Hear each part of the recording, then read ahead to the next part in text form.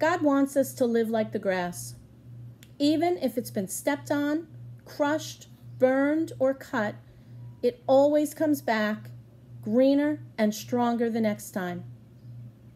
This year for you graduates has been much like the grass, but you've persisted, you've been patient, and you've shown much maturity in these very trying times. I am so very proud of each and every one of you and all that you have accomplished, and I can't wait to see all that you will do and what you will become in the future. Congratulations, class of 2020. May God bless you always.